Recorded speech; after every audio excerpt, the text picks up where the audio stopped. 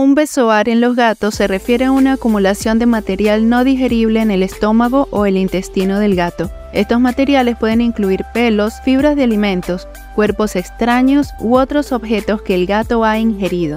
El besoar puede formarse en una masa compacta y sólida que puede causar obstrucción o dificultad para que los alimentos pasen a través del sistema digestivo del gato. En estos animales, los besoares más comunes son los tricobesoares, que están compuestos principalmente de pelos. Recordemos que estos animales son conocidos por el cuidado meticuloso de su pelaje y pueden ingerir grandes cantidades de pelo durante el acicalamiento.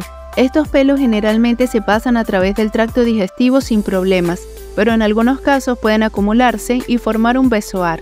En estos casos causan síntomas como vómitos recurrentes, pérdida de apetito, letargo, dolor abdominal o cambios en los hábitos de eliminación. Si se sospecha la presencia de un besoar en el gato, es importante buscar atención veterinaria de inmediato, el tratamiento puede incluir medidas conservadoras, como cambio en la dieta o administración de laxantes, para ayudar a pasar el besoar de manera natural. En pocos casos, puede ser necesaria la intervención quirúrgica para eliminarlo si está causando una obstrucción grave.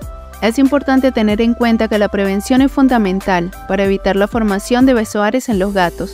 Esto se puede lograr mediante el cepillado regular del pelaje para eliminar los pelos sueltos y la administración de alimentos especiales formulados para ayudar a prevenir la formación de besoares, como las dietas ricas en fibra. Consultar con un veterinario es importante para obtener recomendaciones específicas para la prevención y manejo de besoares.